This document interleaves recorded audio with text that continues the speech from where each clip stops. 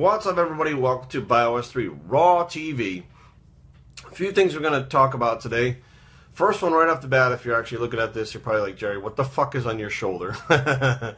um, I'm wearing a tank today because, well, first of all, it's warm out. Second of all, I got some new ink done. As you guys can see, I got a Polynesian sleeve piece that is actually going all the way around and up and it's all stenciled out. I haven't been getting some new ink lately as I uh, decided not to compete anymore after two pec tears and an issue with my back that's not going to get better.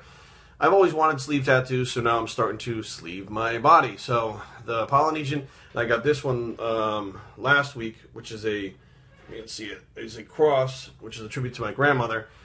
So I'm starting to get my sleeves, so now you guys will see some ink starting to pop in a little more and more. So that's what that's all about. First of all, I want to say thank you guys for coming and subscribing to the channel. We hit 50,000 subs. We're at 50,000 and we're over 50,000 now as of yesterday. And every 10,000 I put out one of these videos, which is basically a thank you to you guys for coming and subscribing and watching the channel.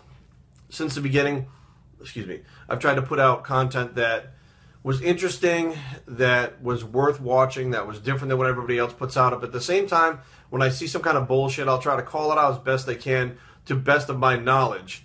Which I'm not really sure why. Again, I think a lot of people bury their heads in the sand and they do this whole thing like, well, no, no, don't don't call out bullshit. Don't do that because that's just going to start a bunch of shit. You should just shut your mouth and fucking do your thing. And that is kind of my thing. Kind of my thing is calling out bullshit when I see it. And by the responses that I get and the emails that I get and the fact that my channel is growing at over 150 subscribers a day, not only do you like the content with the information, but you like the story times, you like the fact that I call people out, you like the stupid little skits that I do. You know, it's a blend of these things together, which I think is actually becoming, you know, more and more not just informational but fun to watch for some people. Some people don't like certain things, some people like other things. But in general, as a whole, I get a lot of positive feedback and comments based on the things that I'm doing. And I appreciate you guys coming and subscribing. And it's kind of mind boggling because you know, I started this thing with a video about cardio and how I was sick of people saying you don't have to do cardio and cardio is nothing and only do five minutes of cardio a week and all this bullshit. And it's just kind of taken off from there. And, you know, um, at this point, you know, it's still daily content that I try to put out.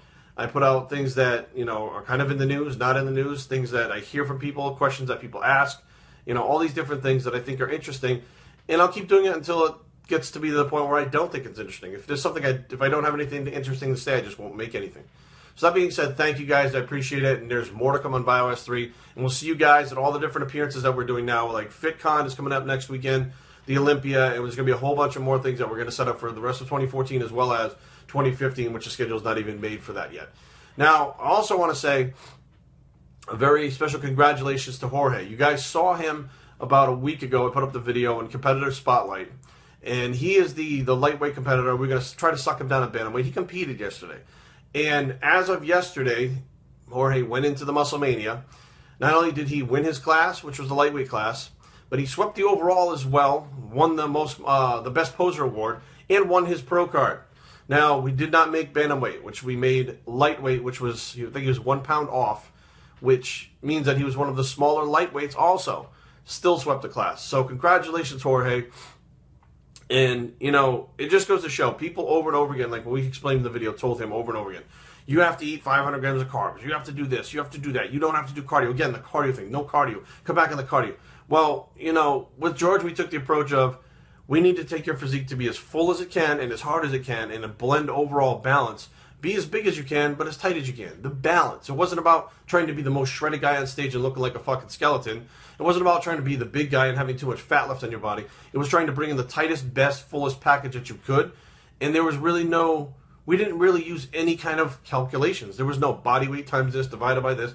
It was all literally as you go. We watched, watched, watched, and made adjustments as we watched.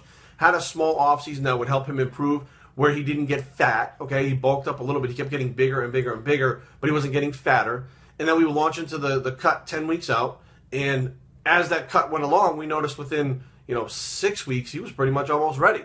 So then you got to tone it down a notch. You got to say, okay, what's happening now? We need to push harder with the you know the training in the gym. Maybe push harder with the cardio for this, and everything had to be timed so that he would peak on that day perfectly. And then we tried to suck him down to bantamweight, which could have backfired drastically. But the idea was you're bigger in the smaller weight class and you're going to be already shredded. So you're better off. Your chances are better off there.